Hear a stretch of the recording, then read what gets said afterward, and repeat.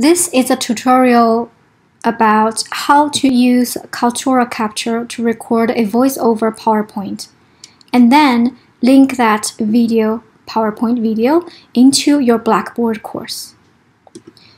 This is what it looks like as a final product.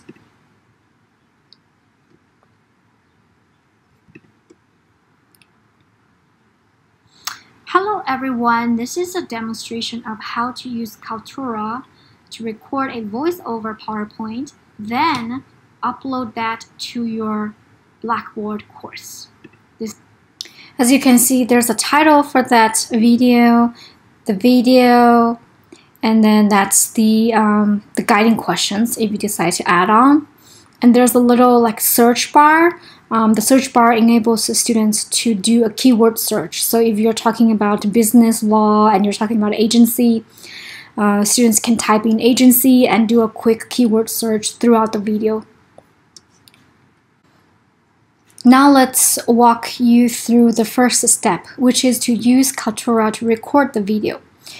In order to use Kaltura to record the video, you first need to download the Kaltura software. First, go to Faculty Resource, my media and under here is your media bank so if you're new to Kaltura uh, you will have an empty list here so the way that you create it is add new and personal capture basically what we're doing is we're not recording anything we're just downloading the software so if it's your first time, so all we need to do is first to download it and uh, Mac. So I'm going to download it for Mac.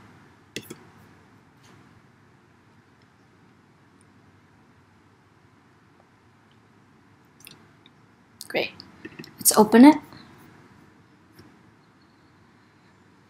So these steps are very straightforward. Um, it's very well guided and you will see this. Okay so it's popping up. That means it's downloaded. So I'm just go go, go ahead and close that window. The second step is to actually use Kaltura to record your PowerPoint. So let's go launch the Kaltura again. Go to faculty resource my media add new personal capture click I agree. Because you have already downloaded it, it's gonna pop up. Just open.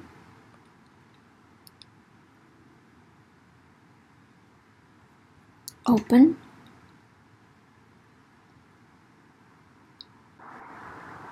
Cool. So as you can see, this is like the control panel for Kaltura.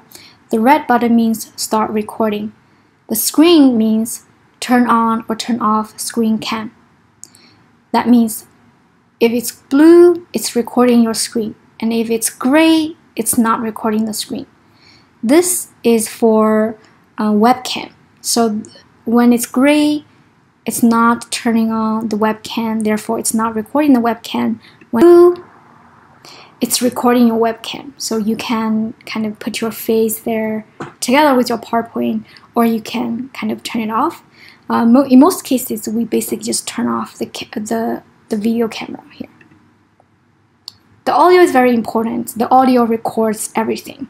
So we have to make sure at least the screen is in blue, the audio is in blue. So we went ahead and opened a PowerPoint and you probably noticed that the control panel disappeared. Uh, but don't worry, um, go to your control dashboard or control ribbon um, usually at the bottom of your computer where all the beautiful icon locates, find the Kaltura capture icon, click on it, it will open. So yeah, it will disappear from time to time. Just go to your um, control ribbon for your operating system and open, uh, click on Kaltura capture, it will automatically um, pop up. Then before we start recording, let's find, um, let's define the recording area by going into um, screen and there's a little window here and you select select area. Our goal here is to only select the slide that we are presenting and not everything else. So we go here, we first start with the biggest 2080 to uh, 10 something. So now we need to um, drag it. You see these little three corners here? So we need to just like drag them to that slide. Okay, that looks pretty good. As you can see, there's a little red line on the outside and that shows like everything else is not recorded, only the things inside of the red outline is recorded. So now let's start recording it. So we hit the red button here. Okay, it's counting down.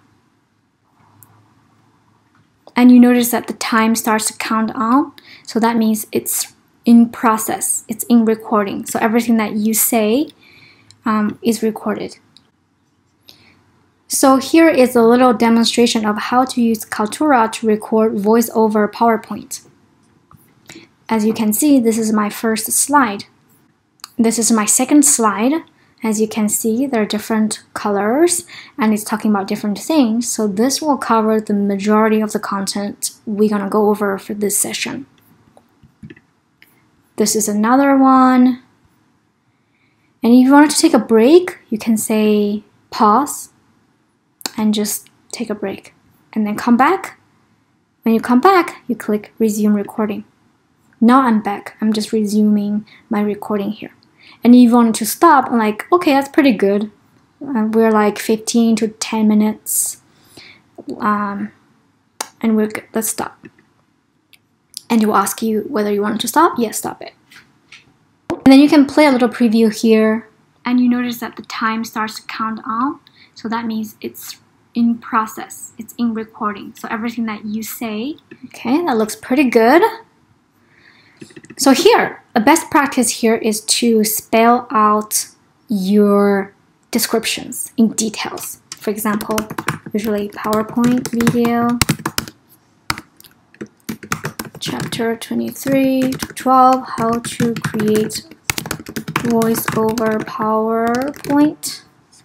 Right description it is a short tutorial about about the reason behind a detailed title is that if you are recording a lot of videos for different chapters for different courses you may have chapter 23 for three different courses and you said CH23 rather than spelling it out, by the time that you need to link that particular video to your course on Blackboard, you may get lost. You're like, okay, which video did I mean when I typed in this short shorthand descriptions? So it's always good to spell things out, especially for the titles. Um, it will save you a lot of time down the road. And once it's ready, save and upload.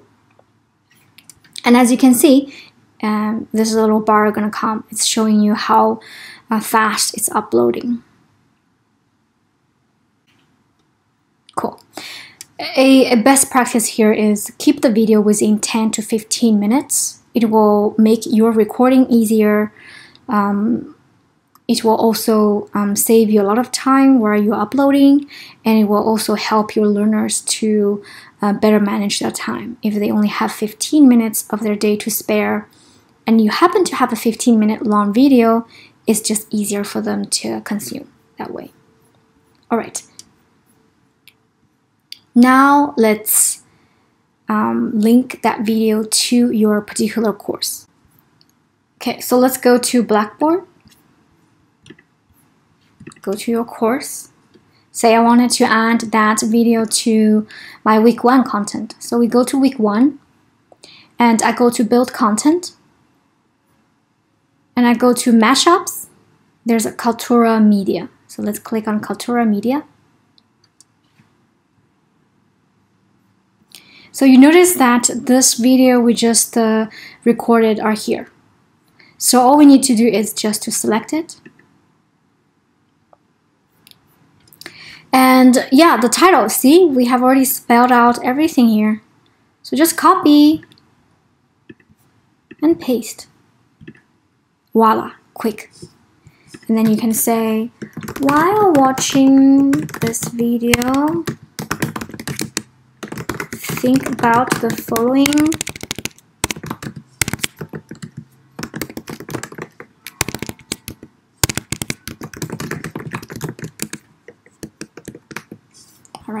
So having this little short questions helps them to um, orient on the most important and core messages of your PowerPoint videos. Again, it's helping the learners to mostly leverage their time effectively. Submit. This is linked here. And let's go to student view.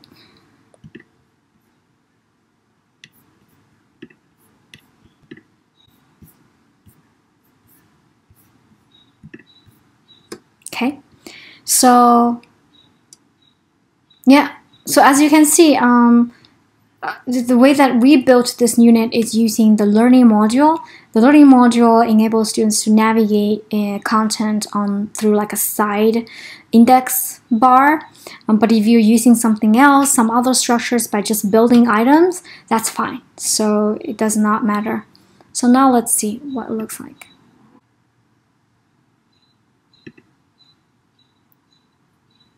And you notice that the time starts to count on.